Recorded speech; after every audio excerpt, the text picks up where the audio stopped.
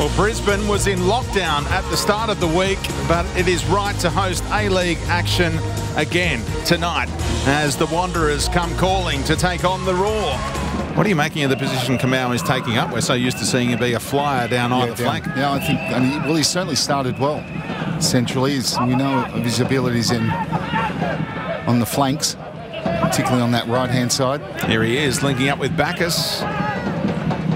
And teeing it up for Yeboah, who returns to Brisbane and scores the opening goal less than 12 minutes in. It all started in this city in the A-League as a teenager. And he's back striking for Western Sydney. Got the speed of Danzaki and Mebrahtu trying to turn Western Sydney around, but it's been a, an assured return from Mourdoukoutas, who gives great balance to the team with these two left footers. And Wilmering plays in Kamau, who tried to go near post. It was going wide. Young still made the save. Well, brilliant run, but the finish doesn't match the run. And he's trying to open himself up. Should have taken it on his left. Carl Robinson expected a response from his team tonight, and he's gotten one. Just moments away from taking a lead to half-time. You know, I think he'd be you know, in a hurry to get to half-time because I think he'd be happy with the last 25 minutes from his side. They're going to have to improve in the second half. Hingert with a determined run, and the header was looping. Margush was worried. And Mebrahtu couldn't quite fashion the equaliser. No, looping header, like you said, it's slightly behind him. He's done well. Margush was certainly concerned.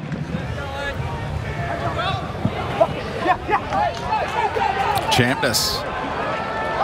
With that blinding speed, got away from Dorrans. What a move inside. Joey Champness! Margush makes a super save.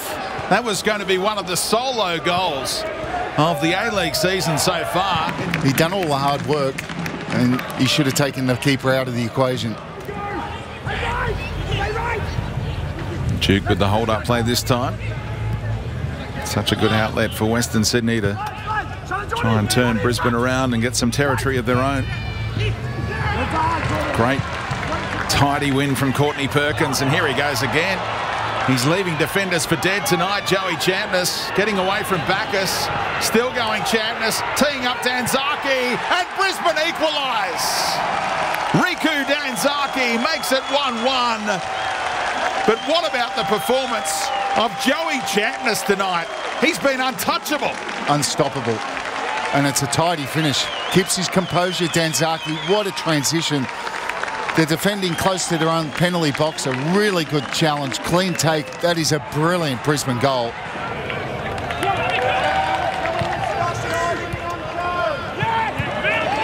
Good win again, and there's space in the middle. Champness turns provider again. Margush keeps it out. And where would Western Sydney be without their 23-year-old shot stopper? Well, they'd be down 2-1 right now. A big mistake. Perfect ball for Mebrahtu.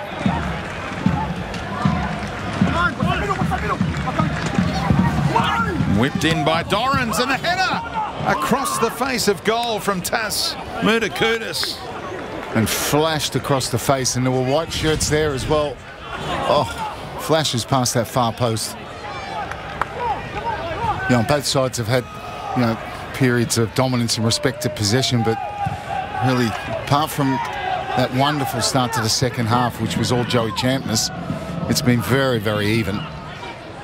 Nikolai Muller a beanie inside the area and then out. And Troisi in an offside position was struck. And that should just about do us. Plenty of intel gain for the return bout between these clubs in 13 days' time. But tonight, it finishes all locked up.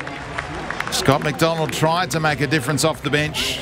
But in the end, they settle for a point apiece. Brisbane now winless in eight. And the Wanderers looking to regroup ahead of that Mariners bout on Tuesday night. Full time here, 1 1.